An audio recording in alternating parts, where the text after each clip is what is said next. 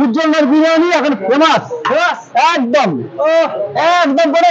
আরে সোদপুর দ্বিতীয় নামে।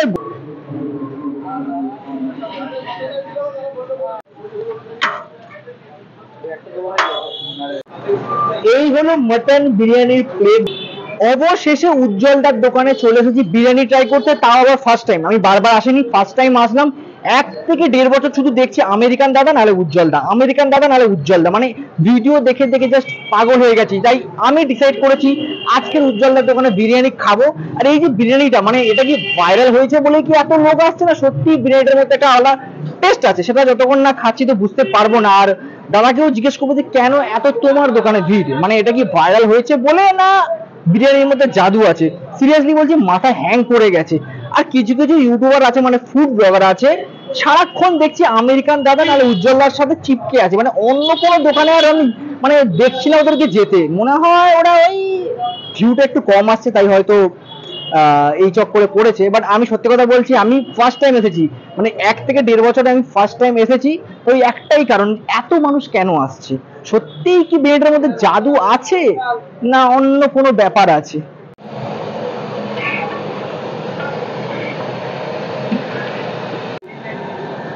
এটা হচ্ছে মাটন বিরিয়ানি, যেটা প্রায় হয়ে এসেছে। এখানে কিন্তু চিকেন বিরিয়ানি চলছে। আমি ক্লোজ থেকে ভিডিও করতে গেছিলাম।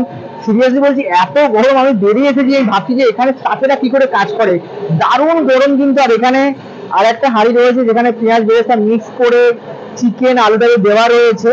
আর ওদিকে কিন্তু চিকেন চাপের জন্য প্রসেসিং চলছে। এখানে চিকেন ছিল, একটু দেখিয়েছি। আর এখানে মোটামুটি ভালো করে মশলা দলাই মালাই করা হচ্ছে, দেখতেই পাচ্ছ।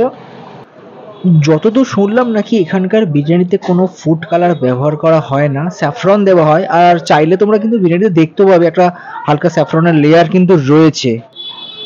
এক একটা বিরিয়ানির হাঁড়িতে কিন্তু এই পরিমাণে ঘি দেওয়া হয়। দেখো দেখো ওরে বাবা তো পুরো একেবারে ছড়িয়ে ছয় লাভ করে দিল। তুমি কতবার আসলে এই নিয়ে? এই নিয়ে প্রায় চারবার আসলাম চারবার। চারবার? হ্যাঁ। কি বলছিল? উজ্জ্বলের বিরিয়ানি এখন ফেমাস একদম। একদম করে আরে সোদপুর দ্বিতীয় নামে গোলা অঞ্চলে। খুব ফেমাস একদম।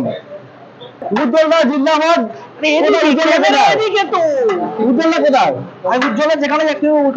বলো হ্যাঁ জিন্দাবাদ একদম। হাত মেলালাম। হাত মেলালাম। একদম কিন্তু আমার মনে হচ্ছে এই বিরিয়ানিটা একদম সলিড মানে সেরা বিরিয়ানি।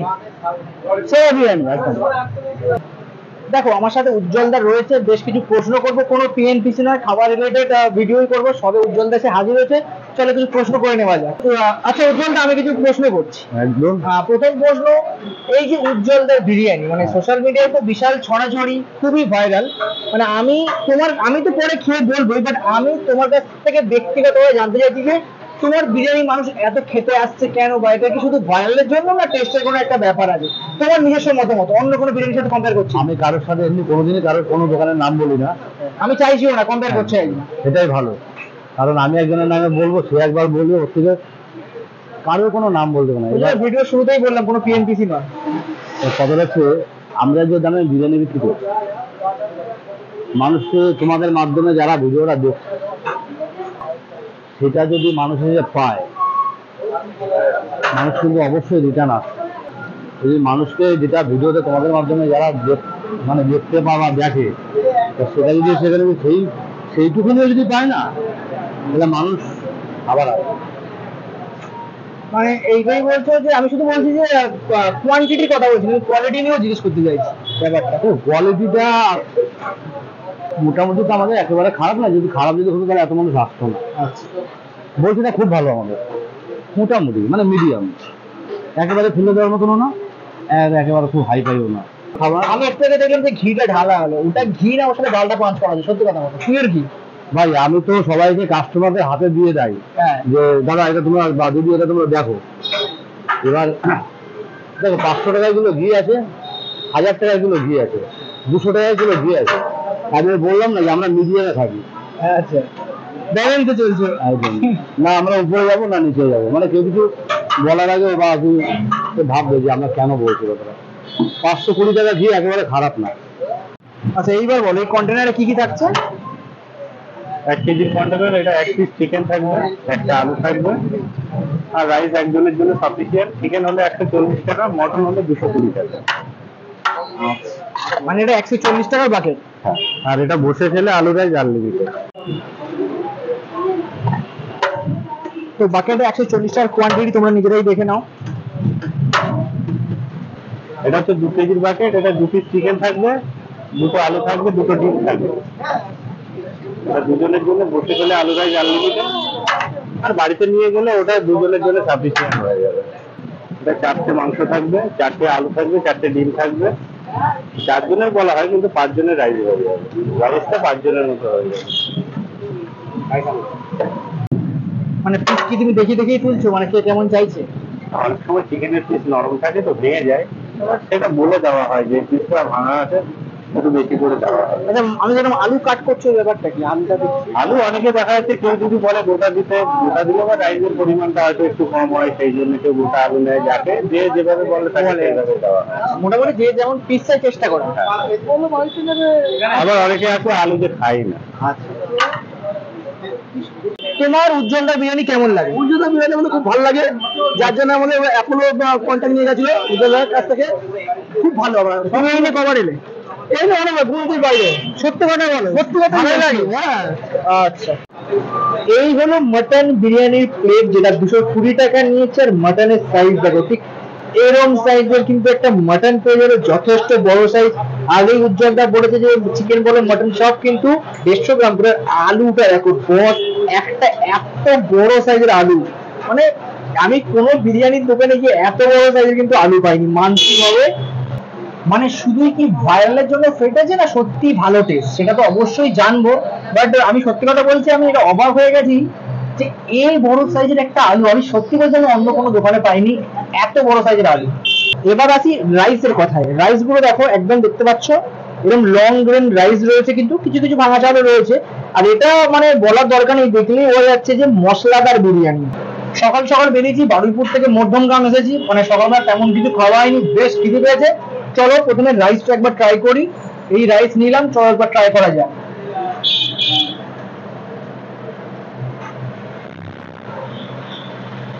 এই গরমে, এরম গরম গরম বিরিয়ানি খেতে কিন্তু আমার খুব একটা অসুবিধা হচ্ছে না। বেশ ভালোই লাগছে মানে কেওড়া, গোলাপ জল, আতরের একটা প্রপার ব্যালেন্স রয়েছে।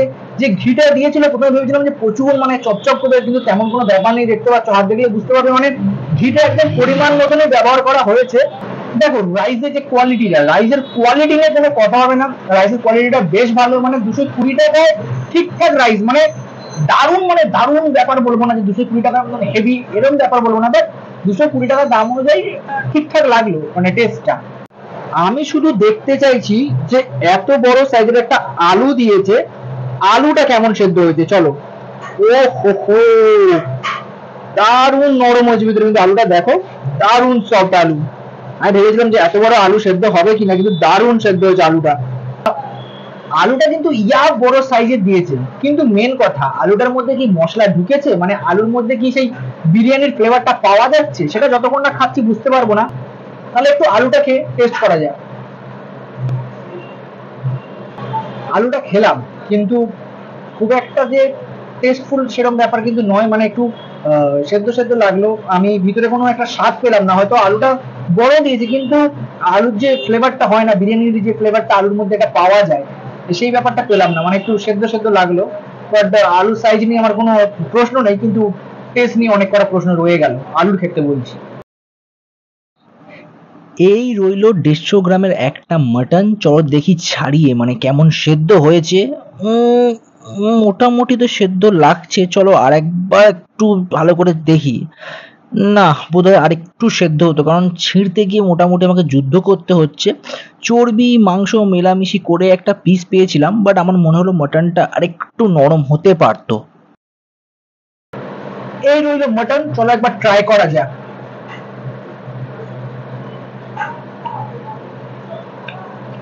মানে দুশো কুড়ি টাকায় যে দেড়শো গ্রামের মাটন দিচ্ছে, আমি আবারও বলছি, সেটা নিয়ে আমার কোনো সমস্যা নেই। যথেষ্ট ভালো কোয়ালিটি তুমি চর্বিও পাবে সলিডও পাবে, সব রকম মিক্স রয়েছে। বাট কোথাও গিয়ে সেদ্ধটা একটু কম লাগল। আমি জানি না এটা আগেও হয়েছে কি, যদি কেউ উজ্জ্বল দোকানে বিরিয়ানি খেয়ে থাকো মানে এরকম মানে মুখোমুখি হয়েছে কি মানে আলুর ব্যাপারটা বা মটনের ব্যাপারটা বা রাইসের ব্যাপারটা, সেটা কমেন্টে আমাকে জানিও। মাটনটা আমি আবারও বলছি আর একটু সেদ্ধ হলে ভালো হতো, যেহেতু এত নাম, এত মানুষ খেতে আসে তো এই জিনিসটা একটু মাথায় রাখা দরকার উজ্জ্বলদার, যে এই আলুর যে ফ্লেভারের ব্যাপারটা বা যে মাটনের যে সেদ্ধ ব্যাপারটা, সেটা একটু মাথায় রাখলে ভালো হয়, তাহলে টেস্টটা কিন্তু আরও ইনহ্যান্স করবে মানে আরও বেশি ভালো হবে। সবার প্রথমে একটা কথা বলি, এই যে উজ্জ্বলদা বলো বা উজ্জ্বলদা বিরিয়ানি সেন্টারে যারা স্টাফ রয়েছে, এদের ব্যবহার কিন্তু খুবই ভালো মানে শুধু ব্লগারদের সাথে বলব না মানে যারা কাস্টমার আছে তাদের সাথেও কিন্তু যথেষ্ট ভালো ব্যবহার করছে মানে মানে কাউকে জিজ্ঞেস করছে তোমার কি পিস লাগবে? দাদা, দেখো এই পিসটা ভালো আছে নাকি? দাদা, হাফ আলু দেবো না, গোটা দেবো রাইসটা তুমি দেখে নাও। যাদের আনলিমিটেড দরকার তাদেরকে জিজ্ঞাসা করছে। তো স্টাফেদের ব্যবহার কিন্তু খুবই ভালো।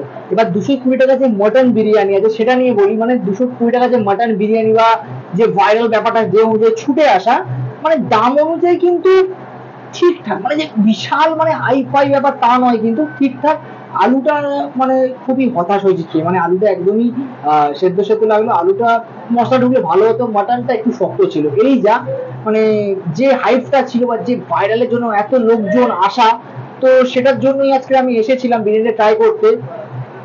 লেভেল বিরিয়ানিটার লেভেল রয়েছে, সেই ব্যাপারটা কিন্তু নেই। তো আর বেশি কথা বাড়াবো না। সেই যেতে হবে মধ্যমগ্রাম থেকে বারুইপুর। অনেক দূর। আজকের মতন টাটা। যদি ভিডিওটা ভালো লাগে, তাহলে অবশ্যই কিন্তু ইউটিউবে সাবস্ক্রাইব করো ফেসবুক থেকে থেকে ফলো করে নাও ইনস্টাগ্রাম সাথে সন্ধানে সুদীপ।